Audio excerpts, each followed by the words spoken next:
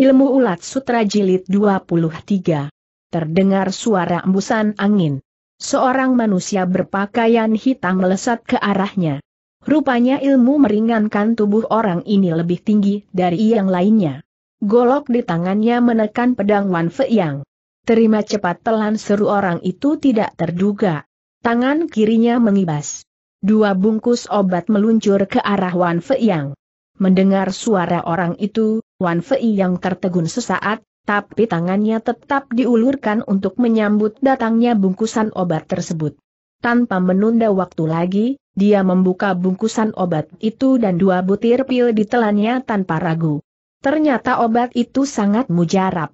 Begitu masuk mulut, serangkum hawa segar segera beredar di seluruh jalan darahnya. Semangat Wan Fei yang terbangkit seketika. Sepasang lengannya berputar. Telapak tangannya menghantam ke kiri dan kanan. Dua orang manusia berpakaian hitam kembali roboh di tanah. Dia melesat mendekati manusia berpakaian hitam yang memberinya obat tadi. Mengapa kau bisa datang ke tempat ini? tanyanya heran. Cepat pergi bentak orang itu tanpa memedulikan pertanyaannya. Baru saja ucapannya selesai, Hujan yang berdiri di sudut sana sudah membentaknya dengan suara lantang, Hyong Kun, apalagi yang kau lakukan sekarang tubuh manusia berpakaian hitam itu bergetar. Dengan panik dia melesat ke atas dinding pekarangan. Wan Feiyang yang melihat tindakannya, cepat-cepat menyusul. Hujan mengibaskan tangannya. Sekumpulan jarum beracun meluncur datang. Wan Fei yang membalikan tubuhnya dan menggerakkan pedangnya dengan arah memutar. Jarum-jarum beracun itu tersapu jatuh ke tanah. Kemudian dia terjungkir balik ke atas dinding. Dia langsung menyeret manusia berpakaian hitam tadi dan mengajaknya pergi dengan cepat. Kain penutup wajah manusia berpakaian hitam itu sudah dilepas. Ternyata Fu Hiong Kun adanya. Meskipun dia sudah menyamar dengan rapi tapi tetap saja hujan dapat mengenalinya. Jarum yang diluncurkan oleh hujan tidak mengenai sasaran. Angin mendahului melesat naik ke atas dinding pekarangan. Tianti malah lebih cepat lagi daripada angin. Dari dinding yang tinggi dia memandang ke bawah. Matanya mengedar ke sekeliling dengan saksama. Kebetulan pada saat yang sama Fu Hiong Kun juga sedang menolehkan kepalanya. Dua pasang mata bertemu pandang. Tanpa dapat menahan diri lagi Tianti meraung murka. Hati Fu Hiong Kun tergetar dan sedih. Tanpa disadari, kakinya berhenti melangkah. Wan Fei yang segera memeluk pinggangnya dan membawanya lari. Dengan demikian mereka dapat melesat lebih cepat dari sebelumnya. Dengan marah Tianti melayang turun. Langkahnya dipercepat. Dia terus mengejar ke depan dengan segenap kemampuannya. Namun jaraknya dengan Wan Fei yang tetap seperti tadi juga. Sedangkan Wan Fei yang mencelat lagi ke udara lalu melayang turun kembali. Dengan memeluk pinggang Fu Hiong Kun dia sudah melesat ke dalam sebuah hutan. Sekali lagi Tianti menghentikan kakinya melesat ke depan untuk mengejar. Ketika dia sampai di dalam hutan, bayangan Wan Fei Yang dan Fu Hiong Kun sudah tidak terlihat lagi. Dengan marah dia menghantamkan sepasang telapak tangannya kalang kabut. Blam! Blam dua batang pohon besar roboh seketika. Dada Tianti seakan hampir meledak. Matanya mencorot bagai kobaran api. Rambutnya yang riap-riap seakan berdiri tegak. Seandainya diri orang tua itu adalah sebuah bom, pasti saat ini dia sudah meledak. Sebuah kuil tua yang sudah bobrok. Pekarangannya tidak terurus. Dinding pekarangan maupun dalamnya sudah retak dan pecah-pecah. Sarang laba-laba memenuhi seluruh ruangan luar dan dalam. Meja-meja persembahan sudah menjadi kepingan kayu yang hancur dimakan rayap. Entah dewa apa yang disembah di kuil ini sebelumnya. Patung-patungnya saja sebagian besar tidak berkepala atau somplak di sana-sini sehingga bentuknya tidak terlihat lagi. Senja hari sudah menjelang. Sinar matahari menyorot lewat celah-celah jendela yang tidak berbentuk lagi. Cahayanya tepat menyinari wajah Fu Hiong Kun. Mata gadis itu berkilauan. Bukan karena cahaya matahari, tapi karena air mata yang mengembang. Sekarang dia baru tahu bahwa Wan Fei yang sama sekali tidak membaca surat yang ditinggalkannya karena basah oleh air sehingga tulisannya luntur. Hal inilah yang menyebabkan Fu Gioksu dapat menjebak Wan Fei yang datang ke tempat ini. Hatinya semakin tertekan. Dia merasa sedih dan menyesali perbuatan abangnya. Akhirnya ia memberanikan diri dan menceritakan apa yang diketahuinya, sekalipun mungkin Wan Fei yang akan membencinya. Dia tidak dapat menutupi kenyataan ini berlarut-larut. Wan Fei yang mendengarkan keterangannya dengan mata terbelalak dan mulut menganga. Tapi nada suara serta mimik wajah Fu Hiong Kun demikian yakin dan serius. Bahkan Carol mengucapkannya pun demikian perlu mengenaskan. Dia tidak ragu mengenai apa yang dikatakan oleh Fu Hiong Kun. Meskipun semuanya benar-benar di luar dugaan. Tapi setelah dia membayangkan kembali, sebetulnya banyak kesalahan yang dilakukan Fugioksu tanpa disadarinya. Tian membiarkan aku terlahir dalam keluarga yang hanya tahu melakukan berbagai kejahatan. Mengapa tidak sekalian membiarkan aku mempunyai hati yang keji dan kejam setelah mengucapkan kata-kata ini, tanpa dapat ditahan lagi air mata Fu Hiong Kun mengalir dengan deras. Fukonio, jangan berkata begitu. Untung saja dalam Xiao Yao Kok masih ada manusia yang berhati manis sepertimu. Kalau tidak, malam ini aku pasti mati. Bahkan mungkin sejak tempo hari. Aku tidak menyalahkanmu. Bahkan dalam hati ini, aku berterima kasih tidak terkira. Kau sudah menyelamatkan nyawaku berkali-kali. Bukan salahmu kalau kau terlahir dalam keluarga Xiao Yao Kok. Jangan juga menyalahkan Tian. Suatu hari nanti Tian pasti akan memberikan kebahagiaan kepadamu. Aku akan menjagamu baik-baik kata-kata yang diucapkan Wan Fei yang keluar dari hatinya yang tulus. Dia memapah Fu Hiong Kun duduk di lantai lalu mengusap air mata gadis itu dengan lengan bajunya. Pada saat itu, hatinya kacau sekali. Dia tidak tahu bagaimana caranya menghibur Fu Hiong Kun. Malam itu, Tianti tidak dapat tidur nyenyak. Apa yang dilakukan Fu Hiong Kun bagai sebilah pisau yang menyayat hatinya. Kata-kata yang diucapkan oleh hujan bagai jarum beracun yang menusuki kulit tubuh Tianti sedikit demi sedikit. Sampai saat ini, apalagi yang dapat dikatakan Tianti untuk membela cucu perempuannya itu? Kesunyian di dalam Xiao Yau kok terasa semakin mencekam. Apalagi pada hari kedua. Pagi-pagi sekali di depan gua yang merupakan pintu masuk Xiao Yau Kok berjajar lima buah peti mati. Tidak ada seorang pun yang tahu kapan peti-peti mati tersebut diletakkan di sana. Di atas masing-masing peti tertulis nama Tianti, hujan, angin, kilat, dan geledek. Tanpa diragukan lagi pasti Wan Fei yang mengirimkan peti-peti mati ini. Setelah Fu Hiong Kun berkhianat dan memihak kepada anak muda itu, tidak heran kalau markas Xiao Yau Kok segera diketahuinya. Melihat kelima peti mati itu beserta nama yang tertera di atasnya, Tianti sudah hampir kalap. Apalagi setelah dia menerima laporan dari anak buahnya bahwa Sumahang ditemukan sudah menjadi mayat di luar lembah tersebut. Hampir saja Tianti muntah darah. Di atas mayat Sumahang masih terdapat secarik tulisan, siapa yang menyamar murid Butong Pei harus mati wajah setiap anggota Xiao Yau Kok langsung berubah kelam. Semua ini pasti hasil karyawan Fei Yang. Pembalasannya mulai terlihat. Tianti mencak-mencak dan berteriak seperti geledek bergemuruh.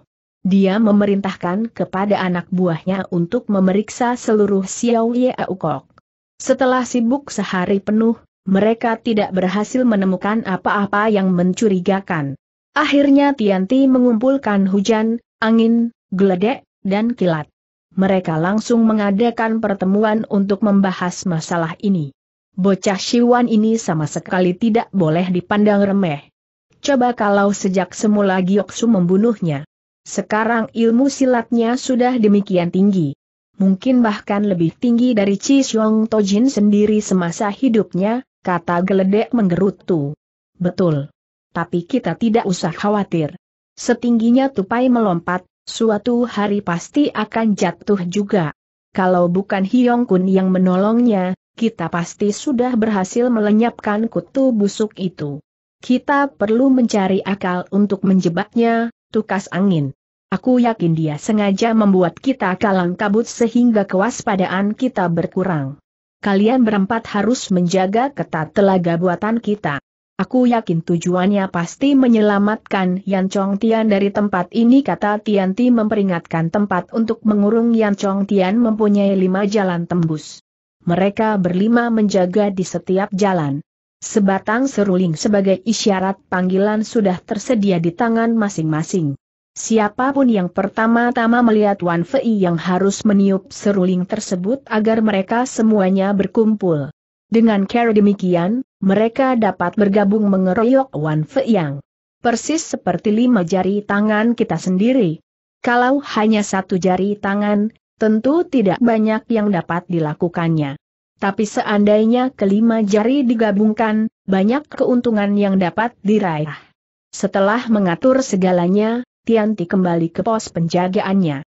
Tiba-tiba dia melihat manusia tanpa wajah menghampiri dengan tergesa-gesa. Han Chong, apakah kau menemukan sesuatu tanyanya gugup. Manusia tanpa wajah tidak menyaut. Dia langsung menerjang ke depan Tianti. Pada saat itulah, si makhluk tua baru merasakan sesuatu yang kurang beres. Tapi terlambat, orang yang dipanggil Han Chong itu sudah menghantam dadanya dengan sepasang telapak tangan. Seluruh isi perut Tianti tergetar. Dia terhitung kuat. Daya tahan dirinya hebat sekali.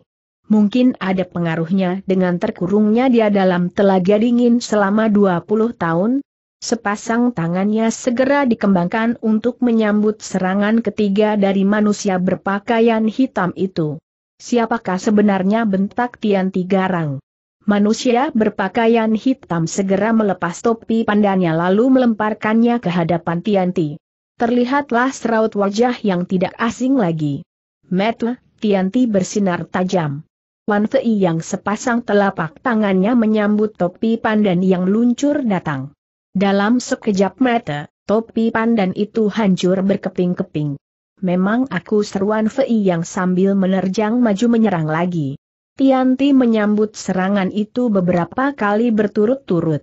Benar-benar care, turun tangan yang keji dan licik, sindirnya. Wan Fei yang tertawa dingin masih belum terhitung apa-apa kalau dibandingkan dengan ke orang tua, sahutnya tenang. Serangannya semakin gencar. Tianti terdesak mundur satu langkah. Cepat-cepat dia mengeluarkan seruling bambu dan meniupnya sebanyak tiga kali. Mendengar suara tiupan seruling itu, Wan Fei yang segera mencelat mundur. Tianti langsung mengejar.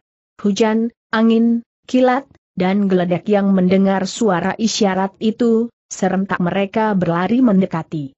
Keluar dari ruangan rahasia, Wan Fei yang langsung menerjang ke dalam lembah.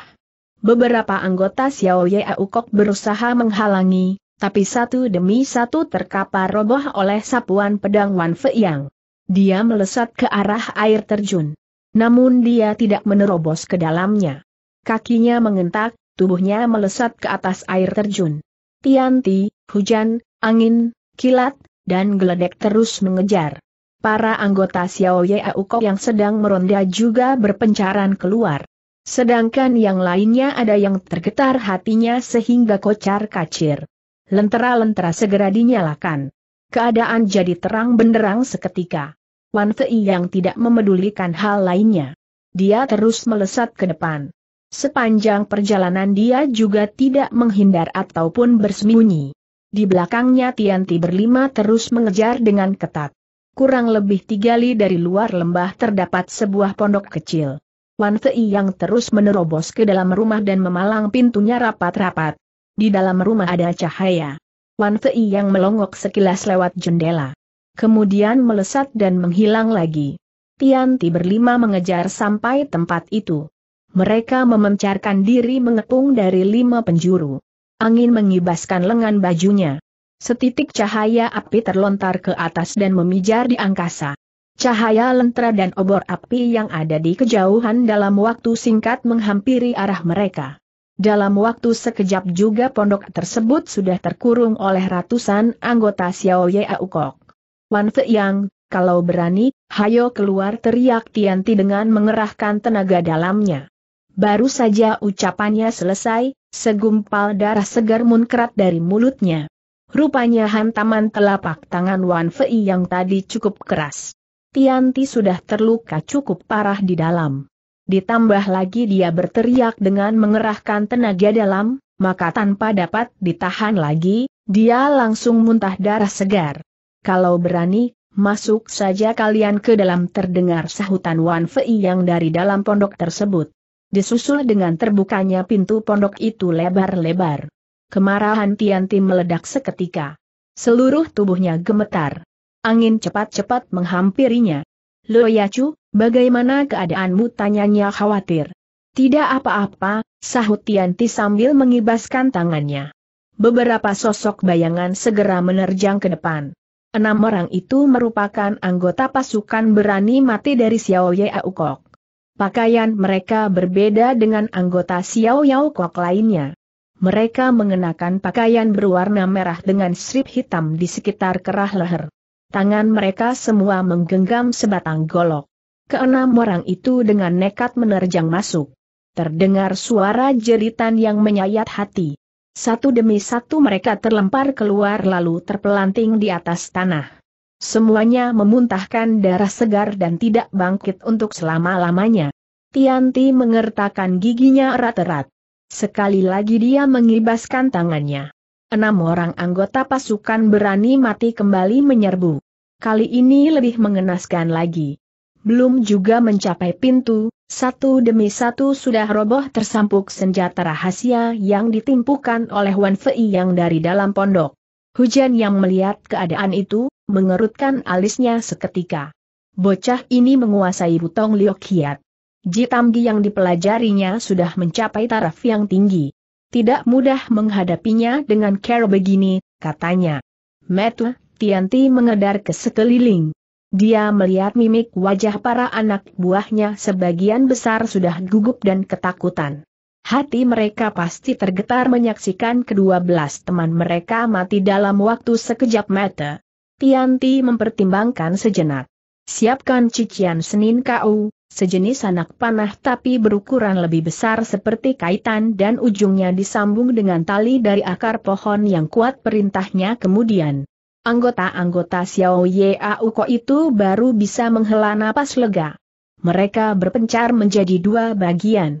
Dari dalam pondok tidak tampak sedikit reaksi pun.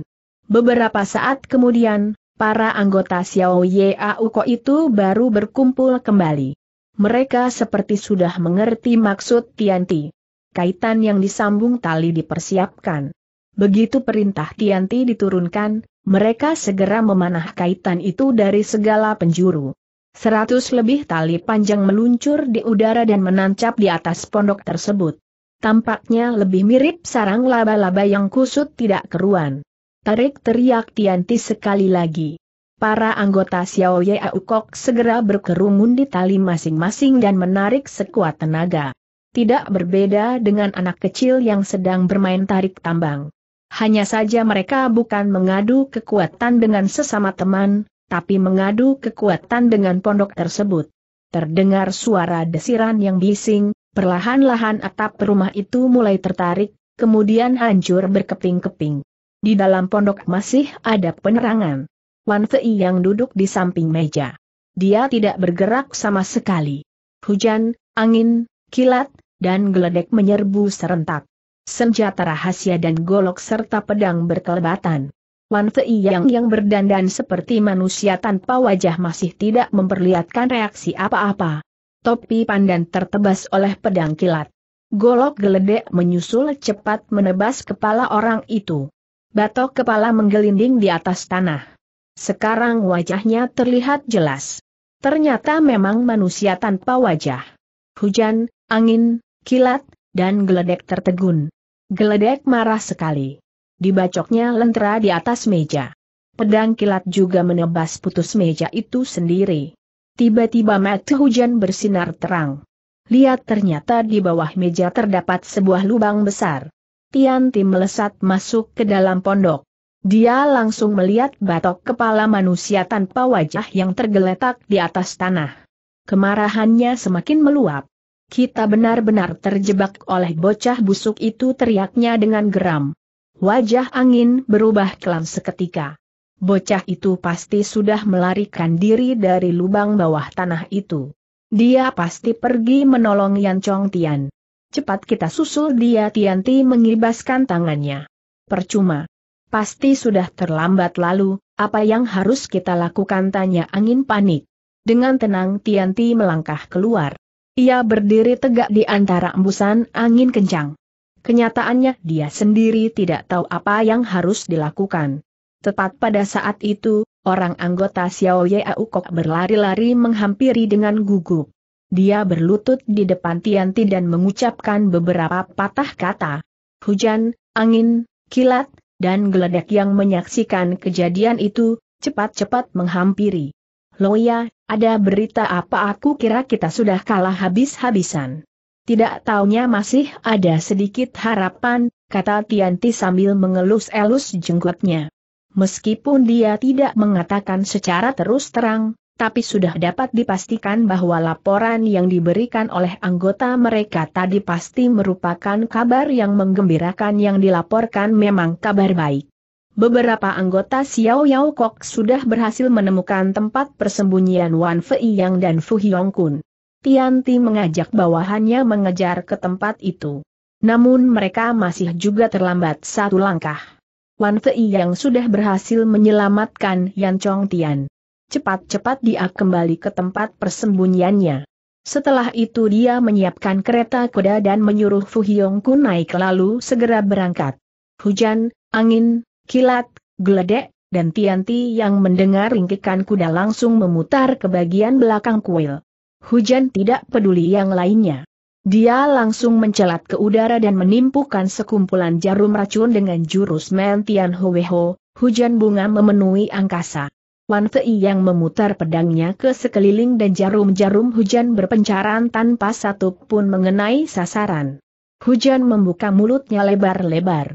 Sebatang jarum beracun berukuran besar meluncur dari dalam mulutnya. Sasarannya kali ini bahu Fu Hiong Kun. Kedua tangannya tidak bergerak. Sedangkan Matuan Fei yang hanya memerhatikan sepasang tangannya saja. Tentu saja dia tidak sempat menangkis jarum yang satu ini. Jarum tersebut langsung meluncur ke dalam kereta. Tubuh Wan Fei yang berkelebat. Dia menyergap ke dalam kereta, tangannya terangkat, cemetinya langsung dikibaskan ke bawah. Kuda lari seperti kesetanan. Pada saat itu Fu Hiong pun baru tersadar bahwa bahunya telah tertancap sebatang jarum beracun hujan. Tubuh Tianti, hujan, angin, kilat, dan geledek melayang turun. Mati mereka semua memandang ke arah kereta kuda yang sudah jauh di ujung jalan. Wajah mereka sungguh tidak enak dipandang. Kali ini mereka benar-benar kehilangan muka. Geledek membanting goloknya ke atas tanah. Usia bocah ini benar-benar panjang makinya kesal. Hujan tertawa dingin. Budak Fu Hiong Kun itu telah terkena jarum beracunku. Dalam tujuh hari, apabila tidak menemukan obat penawarnya, dia pasti mati dengan penderitaan hebat. Aku ingin lihat bagaimana cara bocah Shiwan itu menanganinya mendengar kata-kata itu, Wajah Tianti semakin kelam kereta kuda terus dikendarai sampai jauh. Wan Fei yang tetap tidak menghentikan pecut di tangannya. Dari dalam kereta terdengar suara Yan Chong Tian, Fei Yang, hentikan kereta sebentar, Wan Fei yang segera mengiyakan. Dia menghentikan kereta di pinggir jalan. Supek, ada apa tanyanya gugup. Coba kau lihat Fukou Wan Fei yang terkejut sekali. Cepat-cepat dia meloncat turun dari tempat duduknya di bagian depan. Dia menyingkap tirai kereta tersebut dan masuk ke dalam. Dia melihat Fu Hiong Kun duduk di sudut dengan tubuh bergetar tiada henti. Wan Fei yang segera menyalakan sebatang lilin. Di bawah cahaya lilin tersebut, tampaklah wajah Fu Hiong Kun yang sudah pucat pasi bagai helaian kertas putih. Bahkan ada kesan menyeramkan. Fu Nio, Bagaimana keadaanmu tanyanya cemas. Dia memapah tubuh Fu Hiong Kun dan membantunya duduk tegak. Pada saat itulah dia melihat jarum beracun yang menancap di bahu gadis itu. Jarum hujan wajah Wan Fei yang langsung berubah. Tentu saja Yan Chong Tian juga tahu betapa beracunnya jarum hujan yang disebutkan oleh Wan Fei Yang. Dia tertawa sumbang. Fei Yang, gadis ini bukan saja sudah menanamkan budi kepada kita berdua. Dia juga berjasa besar terhadap Bu Tong Pai. Bagaimanapun kita harus mencari jalan menyelamatkannya, kata Yan Chong Tian. Wan Fei yang menganggukkan kepalanya. Tanpa diperintahkan oleh Yan Chong Tian sekalipun, dia tidak mungkin membiarkan Fu Hiong Kun begitu saja. Dia cepat-cepat menutup beberapa jalan darah di sekitar luka Fu Hiong Kun agar racunnya jangan menjalar. Namun gadis itu sudah cukup lama terkena jarum beracun hujan. Racunnya sudah menjalar sebagian. Dia tidak dapat bersuara lagi. Bahkan merintih pun tidak. Wan Fei yang kalang kabut seperti seekor semut yang dipanggang di atas kompor. Duduk salah, berdiri pun salah. Tiba-tiba matanya bersinar terang. Dia teringat akan seseorang. Tanpa sadar dia berteriak, jangan takut, supek. Masih tertolong akal apalagi yang terpikir oleh mutanya Yan Chong Tian panik. Kita harus secepatnya membawa Fukounio ke tempat Hai Liong Lojin, kata Wan Fei Yang. Hei Liong Lojin? Hei Liong Lojin dari Gobi Pei tanya Yan Chong Tian. Wan Fei yang menganggukkan kepalanya.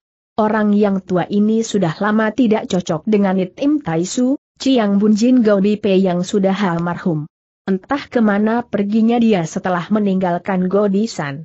Kami tidak pernah mendengar kabar beritanya lagi, aku tahu di mana orang itu berada, sahut Wan Fei yang tanpa menunda waktu lagi.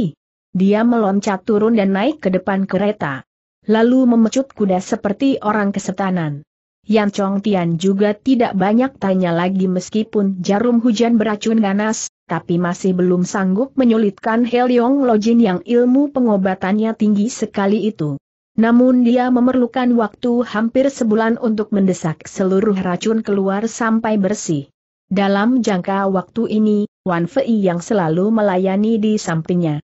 Meskipun Fu Hiong Kun tidak mengatakan apa-apa, tapi dari sinar matanya terlihat jelas betapa dia terharu dan berterima kasih sekali kepada Wan Fei Yang.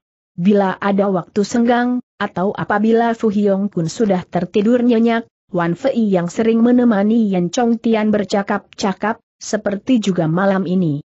Fei Yang, apabila mengingat perlakuan kami terhadapmu di masa lalu, supek rasanya malu sekali, kata Yan Chong Tian sambil menarik napas panjang.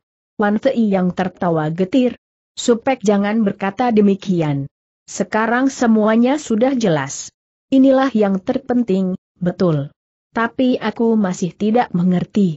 Mengapa ayahmu tidak mau mengatakan terus terang kepadaku tentang dirimu? Seandainya dia berani menceritakan semuanya sejak semula, tentu tidak akan terjadi fitnahan terhadap dirimu, Wan Fei yang menarik napas panjang. Supek, maafkan kalau ada kata-kata Tecu yang menyinggung perasaanmu, ada apa? Katakan saja, kalau ditelik dari sifat Supek sebelumnya, belum tentu Supek bisa menerima kenyataan ini. Apalagi ayah sudah menjabat sebagai Chiang Bun Jin Butong Pei. Dia terpaksa mengorbankan perasaannya sendiri demi kejayaan Butong Pai.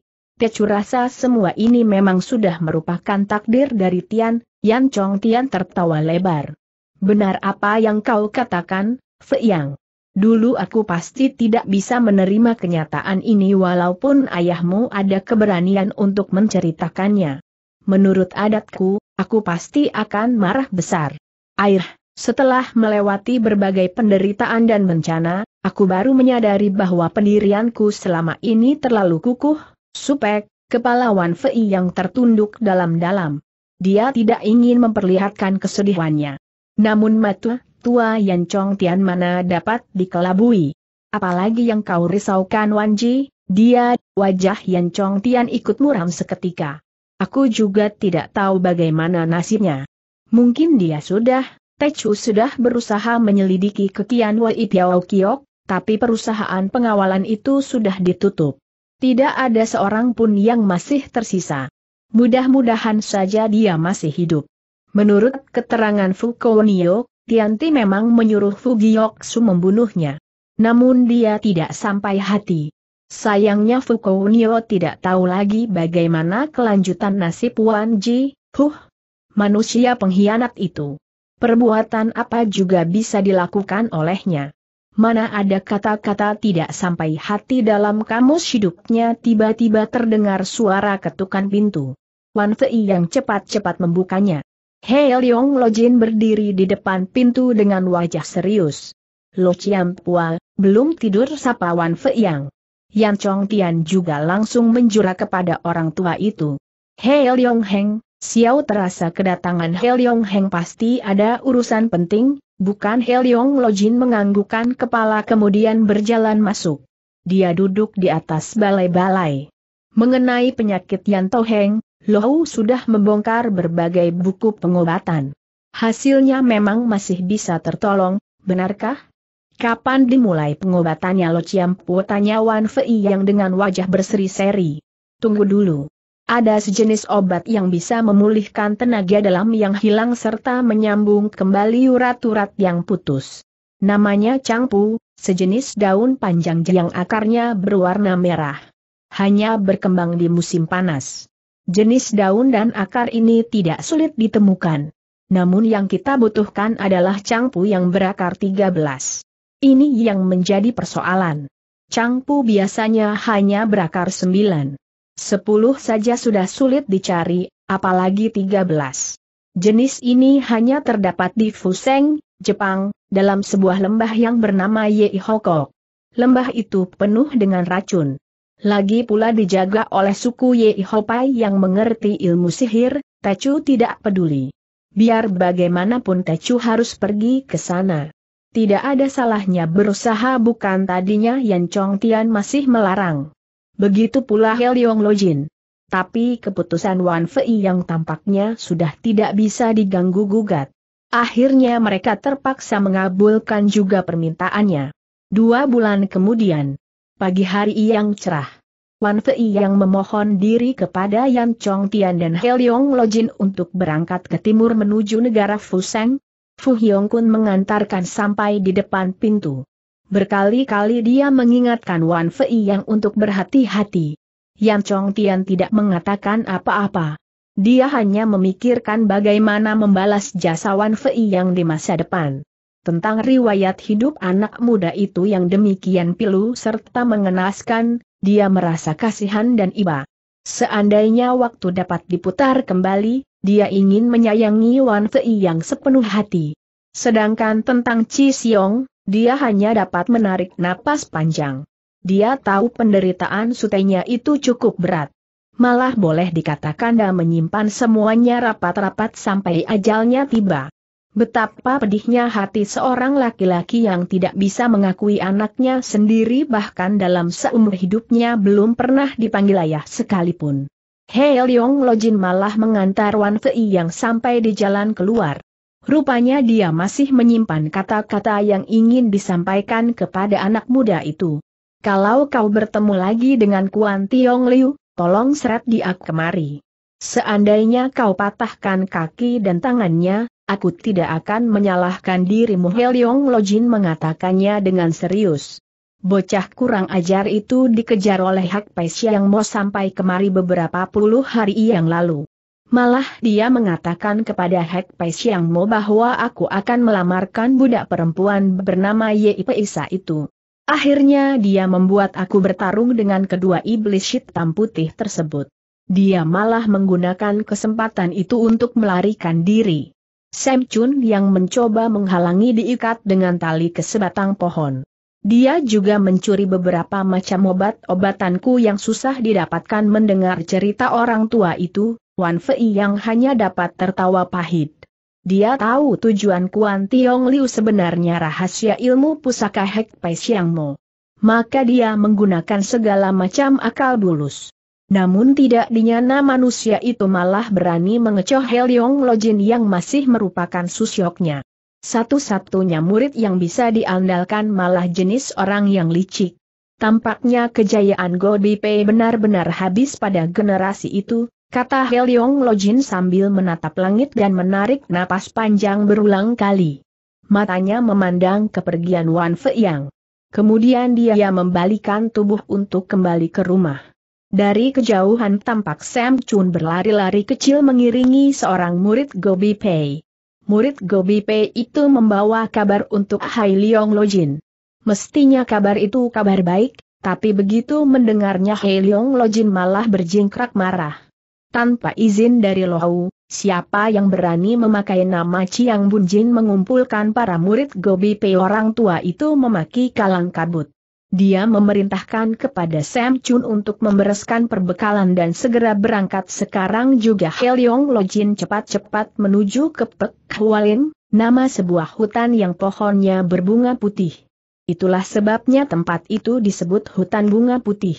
Para murid Gobi Pei sudah berkumpul di tempat itu. Yang memanggil mereka bukan orang lain, tetapi Kuan Tiong Liu, Kuan Tiong Liu menggunakan kewibawaannya sebagai murid satu-satunya Rit Im Taisu. Dia membujuk para murid Gobi Pei yang berpencar di luaran untuk berkumpul di Pek Laim ini. Tujuannya adalah menggempur Bu Tibun serta membangkitkan kembali kejayaan Gobi Pei. Dia juga menekankan bahwa tujuan menggempur Bu Tibun ini, yang terutama adalah untuk membalas dendam bagi kematian Im Taisu. Oleh karena itu, Rata-rata murid Gobi Pei langsung menyetujui niatnya. Para murid Gobi Pei yang mengira hati Kuan Tiong Liu begitu tulus dan setia segera memilihnya sebagai pengganti Yetim Taisu yang sudah meninggal dunia menjabat sebagai Chiang Bunjin generasi baru. Mereka baru saja menjatuhkan diri berlutut, ketika Heliong Lojin melayang turun di tengah-tengah sambil membentak dengan suara keras.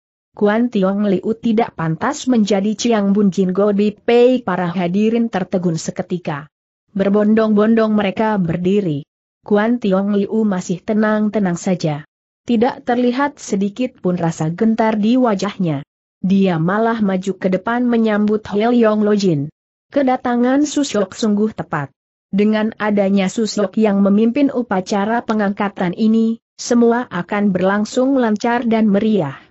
Tidak ada lagi yang lebih pantas menjadi saksi dan juga merupakan satu-satunya angkatan tua yang masih hidup, katanya sok serius.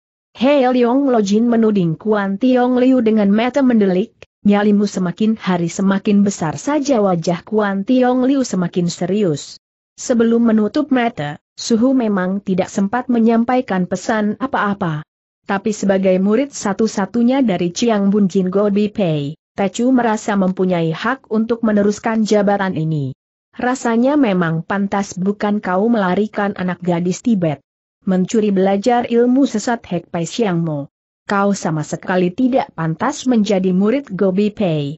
Sekarang juga aku sebagai tiang logo Bipai memecat kau dari perguruan ini kata Heliong Lojin tegas.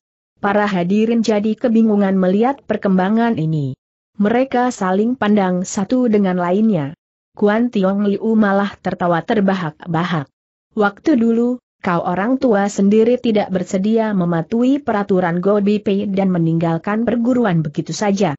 Sebetulnya kau sendiri sejak lama bukan lagi murid Gobi Pei.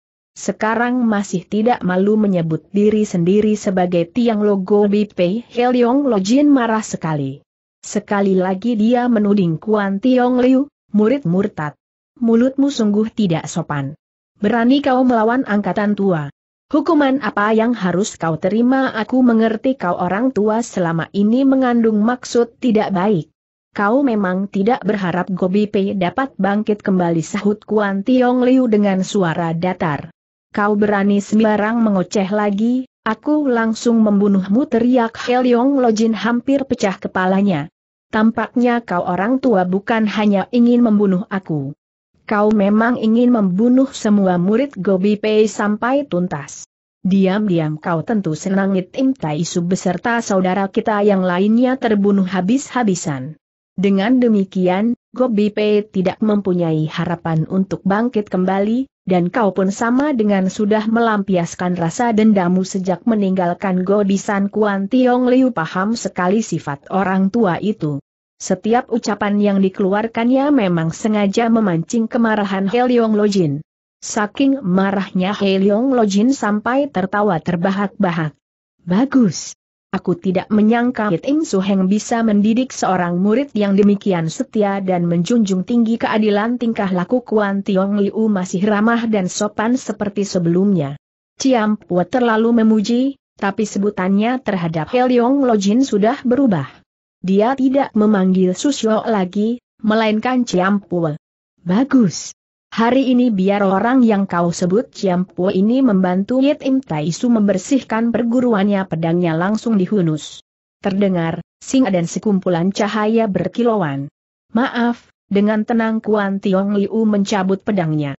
Dua jari telunjuk dan tengah menekan gagang pedang. Sebagai permulaan, dia langsung mengerahkan tiga jurus terakhir dari Lok Jit Kiam Hoat. Pedang Heliong Lojin diulurkan ke depan kemudian digetarkan. Jurus yang dimainkannya sama dengan Kuan Tiong Liu. Tiba-tiba kakinya bergerak dan meluncur ke depan. Kuan Tiong Liu menyambut dari arah yang berlawanan. Terang pedang mereka berbenturan kemudian terlepas kembali. Keadaan masih seimbang. Mereka tidak berhenti tetapi terus melangsungkan pertarungan dengan seru. Dalam sekejap sekitar tempat itu diselimuti oleh kilauan pedang yang menari-nari. Terang, tering, terang suara benturan pedang mereka bagaikan irama sumbang yang memekakkan telinga. Tubuh mereka berkelebat cepat membentuk bayangan. Tampaknya mereka bukan sedang bertarung tetapi mengadu kekuatan pedang masing-masing karena berkali-kali pedang mereka beradu kemudian terlepas lagi setelah itu berbenturan kembali. Terus begitu berulang-ulang. Kiam Hoat yang sama, gerakan pun tidak berbeda. Pertama-tama melihat sepertinya sama-sama kuat alias seimbang. Namun setelah serang menyerang sebanyak 36 kali, Kuan Tiong Liu mulai menguasai keadaan. He Leong Lojin mulai kewalahan. Kakinya terdesak mundur beberapa langkah. Dia hanya sanggup mengikuti gerakan Kuan Tiong Liu saja. Jurus yang dikerahkan oleh Kuan Tiong Liu memang tiga jurus terakhir Lok Jit Kiam Hoat ajarannya. Namun selain daya yang, dia sudah menambah kehebatan ilmu pedangnya dengan tenaga lembut im hasil curian dari Hak Pai Siang Mo. Sekarang ilmu Lok Jit Kiam Hoatnya sudah mencapai taraf kesempurnaan. Itulah sebabnya dia berani melawan Heliong Lojin tanpa merasa gentar sedikit pun. Sebelumnya dia sudah memperhitungkan kekuatannya sendiri sampai matang. Kala ditelik dari sifatnya yang licik, sebelum yakin, mana mungkin dia berani mengumpulkan murid Gobi Pei yang masih hidup dan mengumumkan dirinya sebagai Chiang Bunjin.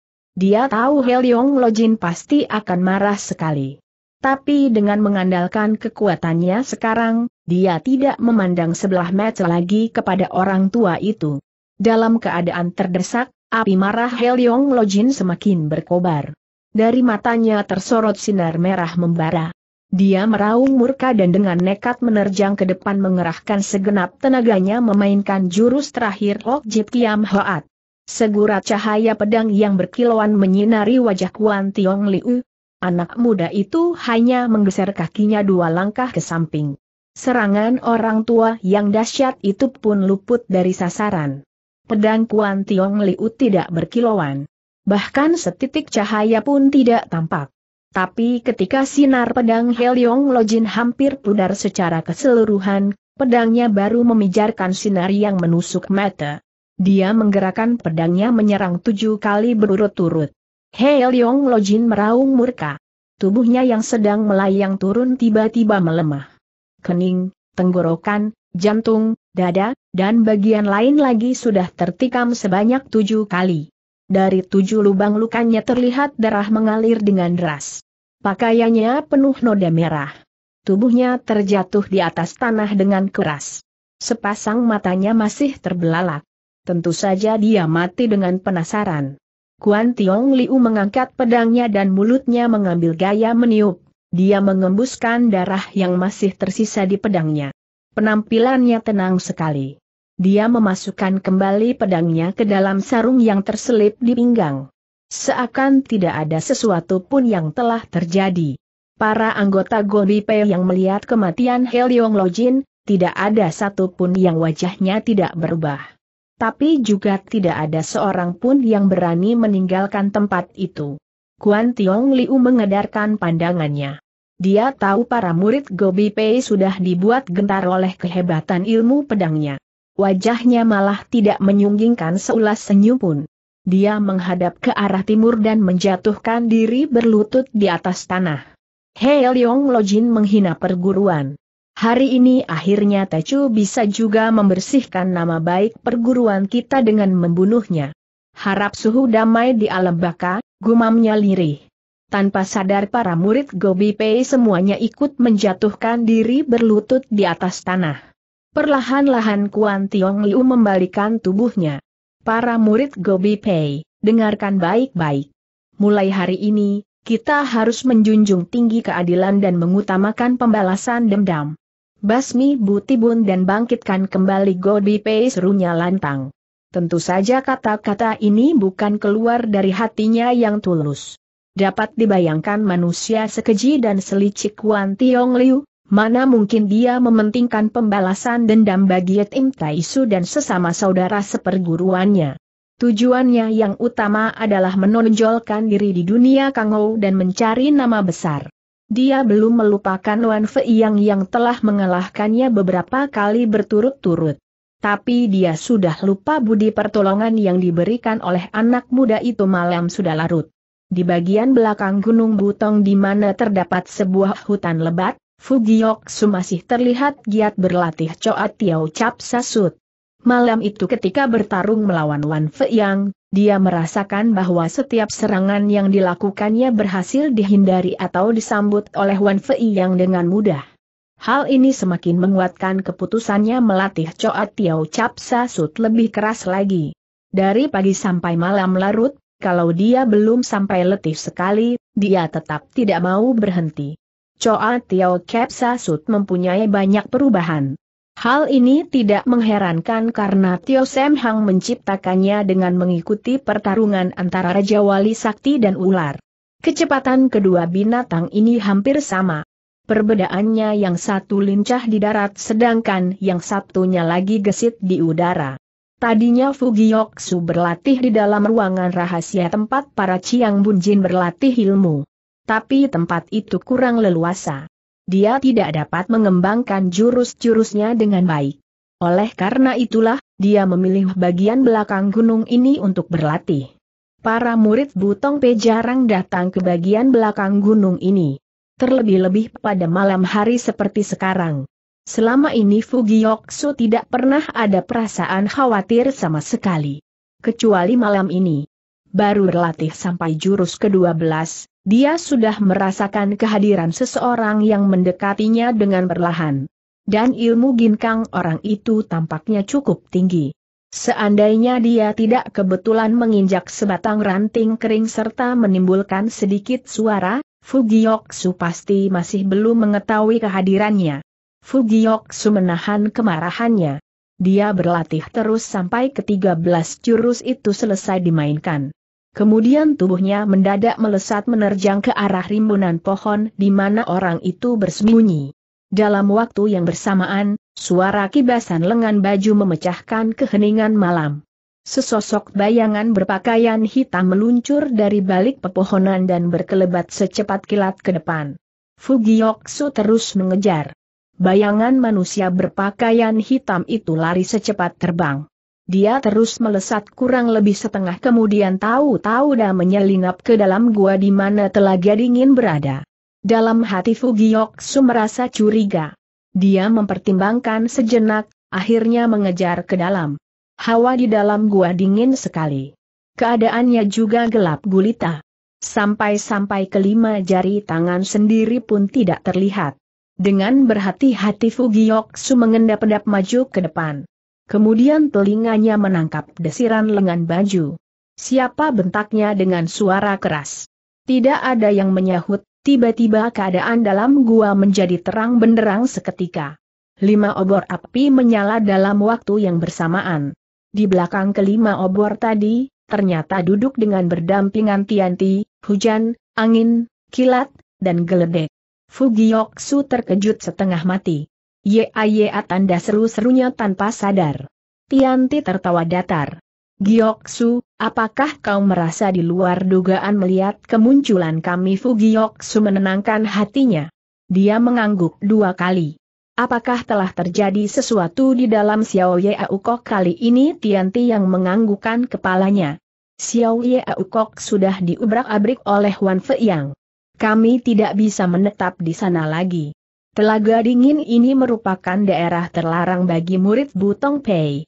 Dengan bersembunyi di tempat ini, aku yakin Wan Fei yang pasti tidak akan menduganya, Metu Fugioksu bersinar terang. Tidak salah. Seandainya bocah Wan Fei yang itu benar-benar mencari sampai ke sini, Sanji pun tidak akan khawatir lagi justru ini merupakan salah satu maksud kedatangan kami. Sekalian kami bersembunyi di sini. Rahasiamu sekarang sudah bocor. Cepat atau lambat dia pasti akan mencarimu. Dengan adanya kami di sini, setidaknya kau masih mempunyai bantuan yang dapat diandalkan. Tentu saja kami harap kedatangannya semakin lambat semakin baik maksud Ya Ya, Fugioksu tidak mengerti. Sebelum dia datang, kau harus mengerahkan para murid butong untuk menggempur Bu Tibun. Pada saat itu aku yakin Wan Fei yang pasti tidak akan berdiam diri. Kita biarkan sampai kedua belah pihak sama-sama terluka, barulah kita turun tangan membasmi Butibun sekaligus Butong Pei Fugiok langsung mengembangkan senyuman licik. Sanji merasa ide ini cemerlang sekali Tianti mendongakkan kepalanya tertawa terbahak-bahak. Suara tawanya bergema di gua tersebut dan menggidikan hati siapa pun yang mendengarnya, tentu saja kecuali Fugioksu dan keempat bawahannya. Fugioksu mengerutkan keningnya. Seakan-akan dia teringat sesuatu yang tidak dimengertinya. Bagaimana Wan Fei yang bisa menyerbu ke Xiao Yao kok? Padahal kita tidak memancingnya ke sana, bocah itu benar-benar selalu menimbulkan kesulitan suara tawa Tianti sirap seketika. Siapa lagi kalau bukan gara-gara budak Hyong Kun Hyong Kun wajah Fugiok Su menjadi kelam kembali. Jangan sebut nama budak itu lagi kemarahan Tianti mulai meluap. Dia berhenti sejenak untuk menenangkan perasaannya yang bergejolak. Oh ya, apakah kau sudah tahu bahwa Kuan Tiong Liu telah mengangkat dirinya menjadi Chiang Bun Jin Godi Pei? Dan dia sekarang dalam perjalanan membawa para muridnya menuju Butong San ini Fugiok Su mengerutkan alisnya sekali lagi. Mungkinkah dia datang kemari untuk membuat perhitungan denganku atas kekalahannya di tangan Chi Xiong Tojin tempo hari mungkin juga dia ingin mengajak Butong P bekerja sama menggempur Bu Tibun, kata Tianti dengan metu setengah terpejam. Fugiok langsung mengelaskan senyuman lebar. Seandainya benar demikian, tentunya bagus sekali. Dengan bergabungnya Go Pei dan Butong Pei, tidak takut Bu Tibun masih bisa berdiri lebih lama lagi, dia tertawa terbahak-bahak. Kali ini suaranya lebih menyeramkan daripada suara tawa Tianti tadi dugaan Tianti memang tidak salah. Pada hari kedua menjelang matahari berada di atas kepala, surat undangan Kuan Tiong Liu sudah sampai. Tentu saja Fugiok Su menyambutnya sebagai Chiang Bun Jin Go Pei. Kuan Tiong Liu menyatakan minatnya mengajak Bu Tong Pei bekerja sama menggempur Bu Tibun.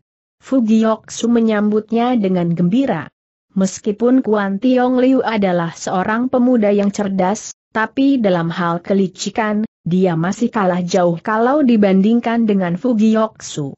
Dalam dunia Kangou, asal-usul Fugiok Su masih merupakan misteri. Sedangkan para murid Butong P mempercaya dia sepenuhnya tanpa pernah terbersit kecurigaan sedikit pun. Apalagi partai lainnya. Sikapnya tidak pernah meragukan. Caranya berbicara ataupun menghadapi tamu jauh lebih berwibawa daripada Kuan Tiong Liu. Pada dasarnya dia memang keturunan tokoh terkenal.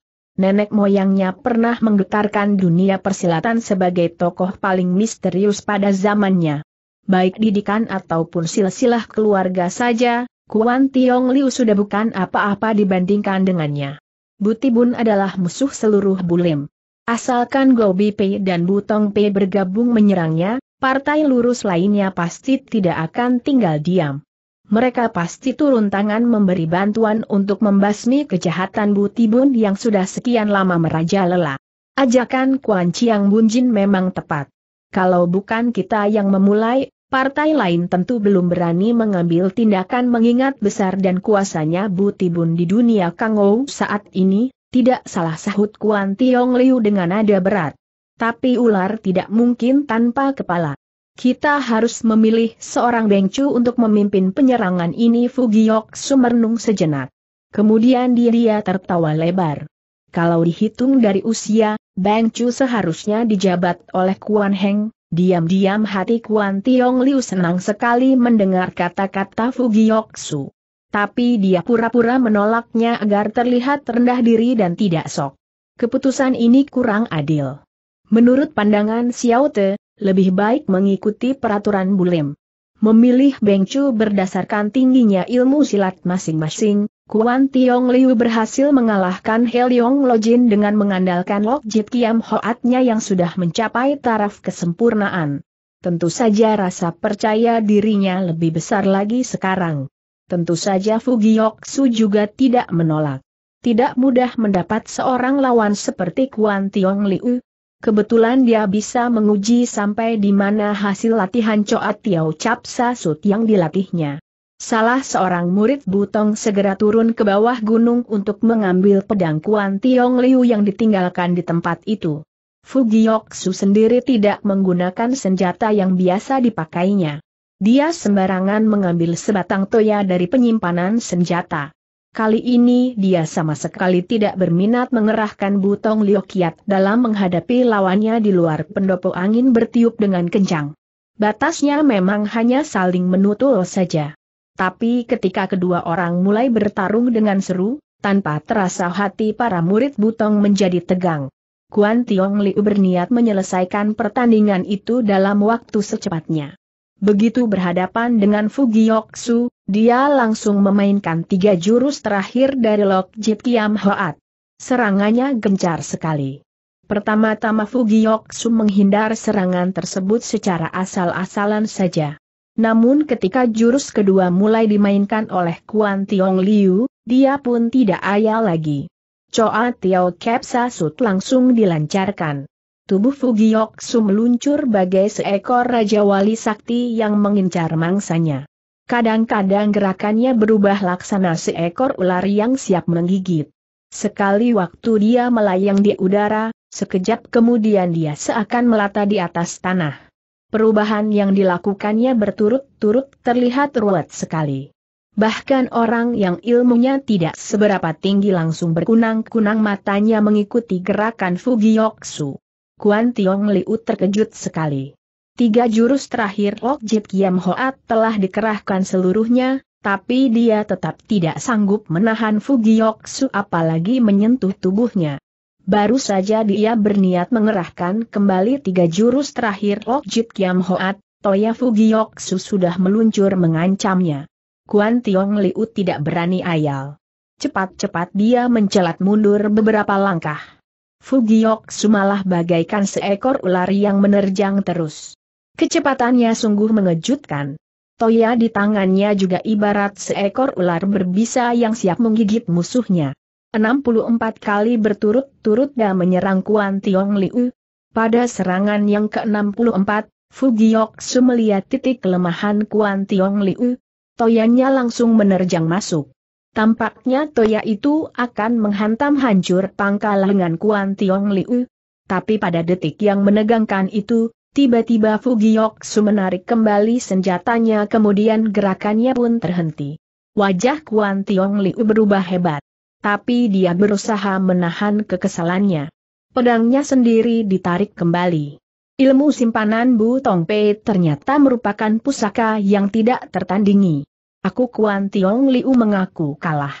Kedudukan Beng Chu memang tepat dijabat oleh Fu Heng Fu Giok Su menggelengkan kepalanya.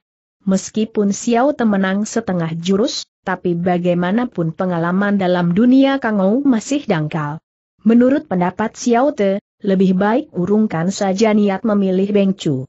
Urusan besar maupun kecil, kita rundingkan bersama dan mencari keputusan yang adil ini, Kuan Tiong Liu memerhatikan Fugiok Su dengan tajam. Tapi dia tidak menemukan apa pun yang mencurigakan. Ucapan yang dikeluarkan oleh Fugiok Su demikian tulus. Hatinya tergerak. Dia sudah mempunyai perhitungan yang matang. Akhirnya dia menganggukkan kepala tanda setuju dengan usul Fugioksu tadi. Fugioksu langsung mengajak Kuan Tiong Liu duduk di ruangan dalam. Sementara itu, dia juga memerintahkan kepada salah seorang anak buahnya untuk mengantarkan surat tantangan kepada Tok Kubuti.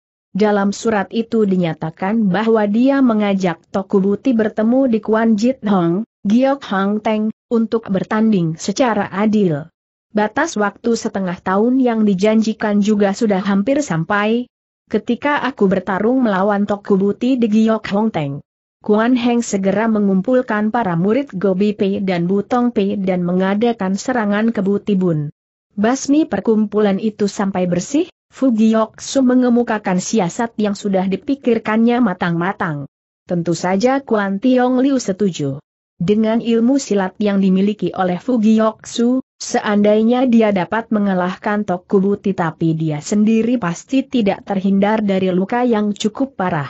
Pada saat itu, dia baru turun tangan menghadapi Fugioksu dan kalau perlu merampas kedudukannya sebagai Chiang Bunjin Butong Pei. Sudah pasti dia tidak mengemukakan hatinya kepada siapa pun. Bahkan wajahnya pun tidak menunjukkan perasaan apa-apa. Sampai dia memohon diri kepada Fugioksu dan turun ke bawah gunung, dia baru mengeluarkan suara tawa dingin dua kali. Tapi hanya dua kali suara tawa dingin itu saja. Fugioksu sendiri juga tidak menunjukkan perasaan apa-apa malam hari, kentungan ketiga baru saja terdengar. Di dalam telaga dingin, Fugioksu mengemukakan siasat yang akan dijalankannya di hadapan Tianti. Dalam pertarungan hari ini, meskipun aku menempuh bahaya dengan memenangkan Kuan Tiong Liu secara nekat, tapi dalam pandangan para murid Butong Pei, kedudukan sekarang bagaikan pohon besar dan kukuh. Di samping itu, aku juga tidak menghilangkan muka Kuan Tiong Liu di depan umum.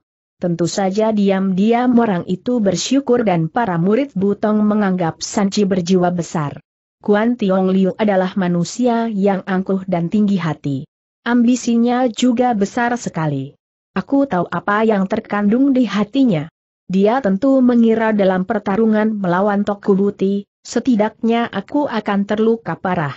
Dia sendiri pasti akan mengerahkan segenap tenaga untuk membasmi Butibun. Pada saat itu, kita baru meringkusnya juga belum terlambat, Tianti yang melihat cucunya demikian cerdas dan banyak akal, tentu saja hatinya girang tak terkatakan pada malam yang sama, Tok Kubuti telah membuat sebuah keputusan. Dia akan menikahkan Tok Kuhang dengan Kong Sun Hong. Sudah pasti Kong Sun Hang menerima keputusan itu dengan gembira. Sedangkan Tok Kuhang terkejut sekali. Dia langsung mengunci dirinya dalam kamar dan tidak menemui siapa pun. Berita dengan cepat tersebar ke seluruh kantor maupun cabang Butibun. Bahkan Dayang Senin Mencing yang bernama Guat Go juga sudah mendengar berita ini. Setelah mendapat laporan dari Guat Go, Senin Mencing tetap tidak menunjukkan reaksi apa-apa.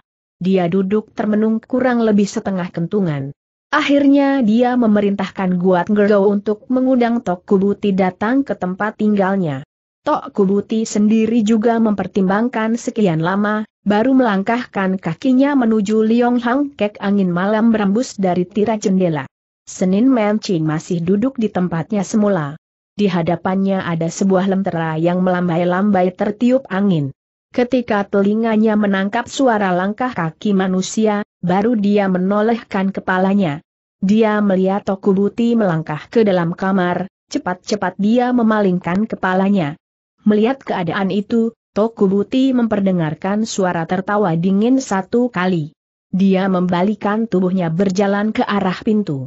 Di situ dia menghentikan langkah kakinya. Apakah aku salah masuk tanyanya datar? Kau tidak salah masuk. Tetapi apa yang kau lakukan baru dapat dikatakan kesalahan besar nada Senin Mencing bahkan lebih dingin lagi. Kesalahan besar Tok Kubuti tentu tahu apa yang dimaksudkan oleh Senin Mencing, tetapi dia pura-pura tidak tahu. Hal apa yang kau maksudkan urusan yang Sabtu ini aku rasa yang kau maksudkan mungkin pernikahan Hongji, Senin Mencing tidak menyangkal. Akhirnya kau harus memohon kepadaku juga, kata Tok Kubuti tertawa bangga. Aku hanya mengingatkan, sahut Senin Mencing sepatah demi sepatah. Hong Ji sama sekali tidak ada perasaan apa-apa terhadap Kong Sun Hong, perasaan bisa dibina perlahan-lahan, apakah manusia seperti engkau mengerti apa yang dinamakan perasaan aku hanya tahu bahwa aku mempunyai hak mengurus pernikahan Hong Ji tapi kau harus berpikir demi Hong Ji. Pernikahan bukan permainan. Ini masalah besar yang menyangkut seumur hidup Hang Jia nada suara Senin Mencing begitu pilu. Kau memaksanya menikahi seorang laki-laki yang tidak dicintainya. Bukankah sama saja kau ingin membuat dia menderita sepanjang hidup ini urusan apa pun hanya aku yang berhak menentukan. Tidak ada hubungan dengan Hang Ji adalah anak kandungku. Bagaimana kau bisa mengatakan tidak ada hubungannya anak kandungmu wajah Tok Kubuti berubah menghijau. Lalu, mengapa kau tidak mengatakan terus terang apa yang telah kau lakukan tempo dulu dengan hati pedih Senin Mencing menundukkan kepalanya. Tok Kubuti juga tidak banyak bicara lagi. Dia membalikan tubuhnya berjalan keluar. Dibantingnya pintu kamar keras-keras. Senin Mencing mendongakkan kepalanya. Mulutnya membuka, tapi akhirnya dia tidak jadi memanggil. Kepalanya tertunduk semakin rendah. Berulang kali dia menarik napas panjang. Entah berapa lama telah berlalu, tiba-tiba terdengar suara pintu didorong dari luar. Senin mancing menghela napas sekali lagi. Apakah kau sudah mempertimbangkan kembali tanyanya dengan kepala tetap tertunduk? Ibu, apa yang harus dipertimbangkannya kembali yang masuk rupanya Tok Kuhong? Senin Mencing tertegun. Dia mendongakkan kepalanya perlahan-lahan. Hang Ji, sudah larut malam. Mengapa kau masih belum tidur juga bukankah ibu juga sama saja dalam keadaan begini, mana mungkin bisa tidur nyenyak Senin Mencing menarik napas sekali lagi. Tok Ku Hang terdiam. Ibu sudah tahu semuanya, kata Senin Mencing dengan nada pilu. Keduanya merenung sekian lama. Kau tidak ingin menikah dengan Kong Sun Hang bukan kembali Senin Mencing membuka suara. Tok Ku Hang menganggukkan kepalanya. Senin Mencing tertawa sumbang. Ada bagusnya keputusanmu itu. Daripada menderita seumur hidup, kata Senin Mencing selanjutnya. Tapi Tia berkeras, ayahmu memang picik pikirannya. Hang Ji, bagaimana dengan keputusanmu sendiri Metu? Tok Ku Hang bersinar terang. Aku akan meninggalkan tempat ini apa yang kau rasa baik, lakukanlah Senin Mencing membelai rambut Toku Hong. Tapi dunia Kangou penuh dengan kejahatan dan kelicikan. Kau harus berhati-hati kelak ibu akan lebih kesepian lagi kau tidak perlu khawatir. Ibu sudah terbiasa, ibu, lebih baik kita pergi bersama-sama saja Senin Mencing menggelengkan kepalanya. Tok Kuhang merasa heran. Ibu, Aku benar-benar tidak mengerti, kelak tentu kau akan mengerti. Kalau aku pergi sekarang, kesalahan terletak pada ibumu ini. Sudahlah, lebih baik kau pergi sendiri saja kalau begitu, sekarang juga Hang Ji mohon diri kepada ibu. Harap ibu menjaga diri baik-baik, Tok Ku Hang menjatuhkan diri dan berlutut di atas tanah. Dia menyembah sebanyak tiga kali. Ketika dia berdiri air matanya sudah mengembang. Senin Mencing menahan kepedihan hatinya dalam-dalam. Sampai Toku Hang meninggalkan kamar itu, barulah air matanya berderai dengan derasnya yang terik pada hari kedua. Tok Kubuti baru tahu bahwa Toku Hang sudah menghilang. Dia marah sekali. Dia segera kembali ke ruangan pendopo dan menurunkan panji telapak darah. Dia memerintahkan kepada seluruh anggotanya untuk membunuh Toku Hang apabila berhasil menemukan gadis itu tidak ada orang yang berani melarang. Demikian pula Kong Sun Hong. Kali ini marah Tok Kubuti tampaknya benar-benar meledak suasana sunyi mencekam. Pagi sudah tiba. Sinar matahari yang timbul menerobos lewat jendela. Tok Kuhang sudah bangun. Dipandangnya sekitar rumah tua di mana dia berada. Tanpa sadar dia menarik napas panjang. Sekarang merupakan hari kedua dia meninggalkan Butibun. Rasa kesepian dan kesendirian semakin lama semakin menggelayuti hatinya. Keadaan saat ini tidak sama dengan saat pertama kali dia pergi dari Butibun karena marah. Sekarang dia tidak punya rumah lagi untuk pulang. Ke mana tujuannya, dia sama sekali tidak tahu. Asal di depannya masih ada jalan yang dapat ditempuh, dia melangkah terus. Dia sama sekali tidak menyangka bahwa jejaknya sudah berada di bawah pengawasan para penyelidik Butibun dan laporan sudah sampai di kantor pusat. Suara laan napas masih terdengar, seseorang sudah muncul di depan pintu. Orang itu memandangnya dengan mulut cengar-cengir. Tampaknya kedatanganku saat ini memang tepat. Tidak sampai mengejutkan mimpi Toa Shochia yang indah Kiu Bwehu seru Toku Hang tanpa sadar setelah melihat jelas siapa orang yang masuk itu. Untuk apa kau datang kemari?